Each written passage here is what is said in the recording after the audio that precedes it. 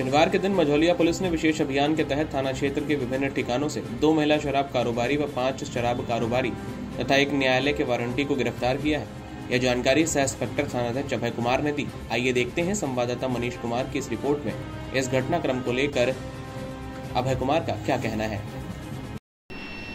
विशेष red छापामारी में कुल आठ व्यक्तियों को गिरफ़्तार किया गया है, जिसमें सात शराब मामलों से संबंधित हैं तथा एक व्यक्ति वारंटी है। दो महिला भी उसमें शामिल है, शराब के मामलों में। कुल तेईस लीटर शराब बरामद हुआ है। सभी को न्यायिक हिरासत में भेजा गया।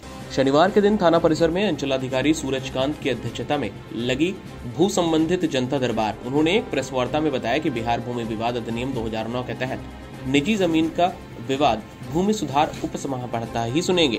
निजी ज़मीन के लिए आवेदक अंचल में आवेदन न देकर भूमि उप को ही देना होगा। विशेष रूप से बाकी अन्य भूमि का मामला अंचल कार्यालय व जनता दरबार में सुनवाई होगी। देखें रिपोर्ट।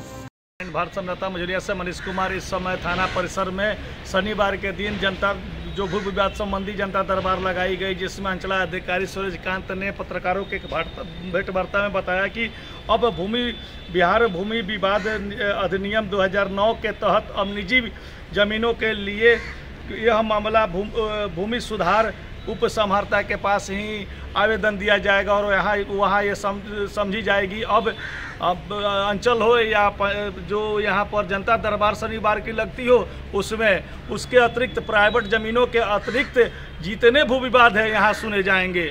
मैं आर नाइन भारत समझौता मझौलिया से मनीष कुमार।